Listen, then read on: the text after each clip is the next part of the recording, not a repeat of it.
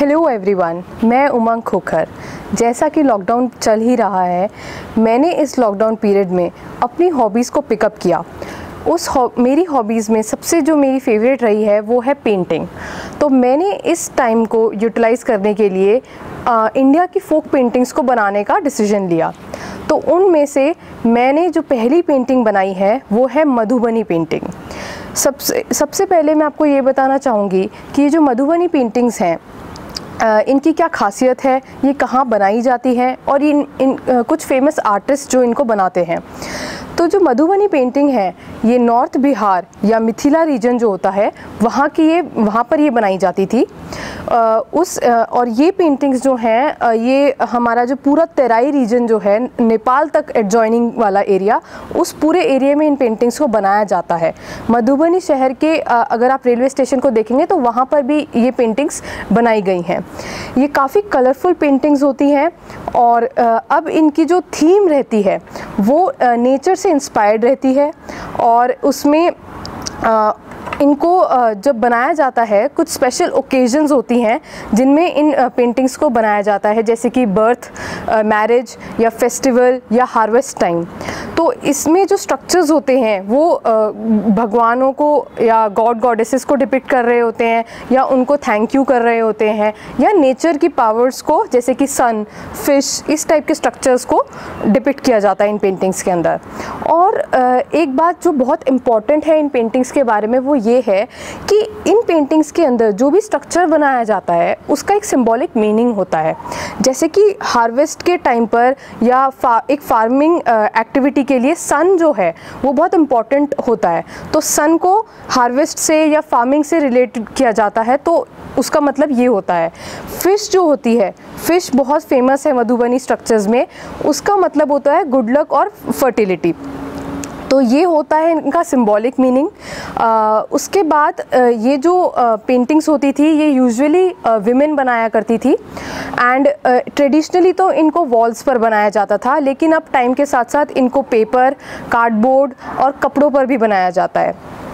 बनाने के लिए, इन पेंटिंग्स के लिए जो ट्रेडिशनल मेथड होता था, उसमें बेस कलर जो होता है बैकग्राउंड कलर जो होता है, वो मड, यानी मिट्टी या काउडंग के पेस्ट से बनाया जाता था। एक लेप टाइप का बनता था।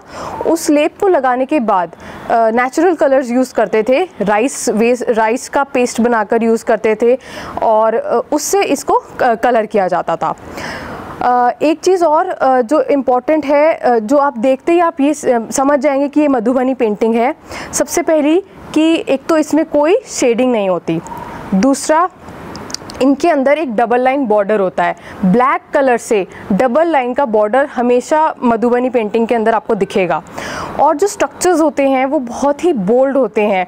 कलर्स काफ़ी वाइब्रेंट और ब्राइट कलर्स यूज़ करे जाते हैं। और ये जो पेंटिंग्स होती है इनमें जो गैप्स रहते हैं उनको बहुत अच्छे से फिल किया जाता है फ्लोरल पैटर्न से या एनिमल स्ट्रक्चर्स से। तो काफ़ी भरी हुई सी पेंटिंग आपको दिखेगी मधुबनी पेंटिंग मधुबनी पेंटिंग का जो ओरिजिन हुआ है वो आ, कहते हैं कि रामायण पीरियड के टाइम पे हुआ था। जब जो मिथिला के राजा थे उन्होंने आ, श्री राम और सीता जी के विवाह पर वहाँ के राज्य के लोगों को बोला था कि अपनी दीवारों को और दरवाज़ों को वो पेंट करें। तो तब औरतों ने विमेंस ने अपने पूरे मिथिला राज्य को पेंट किया था। 1970 में मधुबनी पेंटिंग्स काफ़ी फ़ेमस हुई जब जगदम्बा देवी जिता जितबारपुर विलेज की जो हैं, उन्होंने उनको प्रेसिडेंट ऑफ़ इंडिया ने ऑनर किया था अवार्ड के साथ। उसी के साथ साथ और भी बहुत सारे मधुबनी आर्टिस्ट हैं, जिनमें कि बुआ देवी, सीता देवी, भाटी दयाल जैसे नाम बहुत प्रचलित हैं। ये क्योंकि पेंटिंग एक पर्टिकुलर रीजन में बनाई जाती है और वहीं की एक खूबी या खासियत रही है इस पेंटिंग को जोग्राफिकल इंडिकेशन का टैग भी मिला हुआ है। अब मैं आपको ये बताऊँगी कि मैंने जो मधुबनी पेंटिंग बनाई है, वो कौन सी है? मैंने एक सन का स्ट्रक्चर बनाया है। उसको बनाने के लिए मुझे क्या क्या चीज़ों की ज़रूरत पड़ी और मैंने उसको किस तरीके से बताया, उसका मैं पूरा आपको डिटेल्ड व्यू दूँगी। तो मधुबनी पेंटिंग बनाने के लिए मैंने जिन जिन चीज़ों का इस्तेमाल करा है, उनमें सबसे पहले है, आप कोई भी स्ट्रक्चर ले लीजिए, या तो आप दीवार को क्लीन कर लीजिए जहाँ आपको बनानी है, या कोई कार्डबोर्ड का पीस या कपड़ा। उसके बाद आपको पेंटिंग कलर्स की ज़रूरत पड़ेगी। मैंने इसके लिए यूज़ करे हैं एक्रेलिक कलर्स जो फेविक्रिल कंपनी के आते हैं, और ये ये बहुत इजीली अवेलेबल थे तो मैंने इन्हीं का यूज़ किया है। और ये जो एक बॉक्स होता है, इसमें ट्वेल्व कलर्स होते हैं। इसके जो कलर्स होते हैं, काफ़ी वाइब्रेंट और ब्राइट होते हैं तो मैं इनको यूज़ कर रही हूँ। और आपको कुछ पेंट ब्रशेस का ज़रूरत पड़ेगी। पेंट ब्रशेस में आप ये ध्यान रखें कि आपको एक थोड़ी बारीक वाली पेंट ब्रश की ज़रूरत पड़ सकती है, क्योंकि हमें काफ़ी डिटेल स्ट्रक्चर बनाने होते हैं।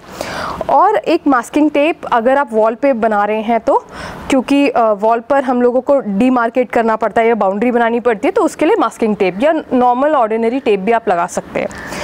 उसके बाद आप अपना जो भी स्ट्रक्चर आपने देखा है आप कहीं से भी देख सकते हैं नेट पर अवेलेबल हैं मधुबनी के मोटिव्स आप वो देखें सेलेक्ट करें, उसका एक रफ़ स्केच पहले बनाएँ।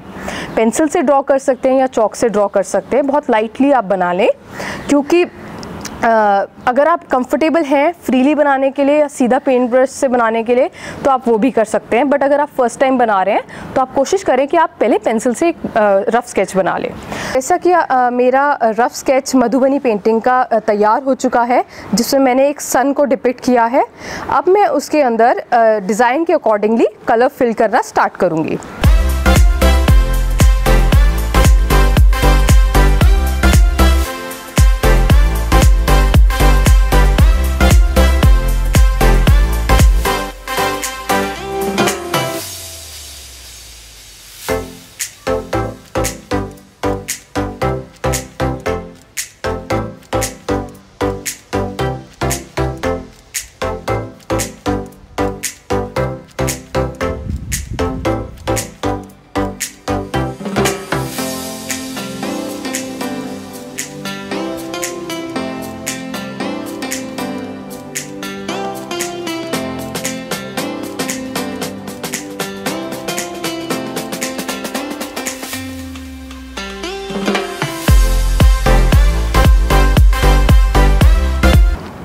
जैसा कि आप देख सकते हैं कि मेरी मधुबनी पेंटिंग कंप्लीट हो गई है और जो भी चीज़ें मैंने आपको डिटेल्स बताई थी, वो सब आप इसके अंदर देख सकते हैं। जैसे कि काफ़ी बोल्ड यूज़ कलर्स का double line border and filling जो करी गई है वो फ्लोरल पैटर्न्स और एनिमल्स की शेप से कंप्लीट कर दी गई है। और सन का स्ट्रक्चर मैंने बनाया है तो आप इसको देख सकते हैं और इसी तरह आप भी अपने घर पर ट्राई कर सकते हैं एक मधुबनी पेंटिंग को बनाने का। पेंटिंग बनाते टाइम अगर आपको कोई भी प्रॉब्लम होती है या आपको कोई एडवाइस लेनी है तो आप कमेंट बॉक्स में कमेंट कर सकते हैं, मैं रिप्लाई करूँगी और आपकी हेल्प करने की पूरी कोशिश करूँगी। एक इंपॉर्टेंट बात, घर पर रहें, सुरक्षित रहें जय हिंद।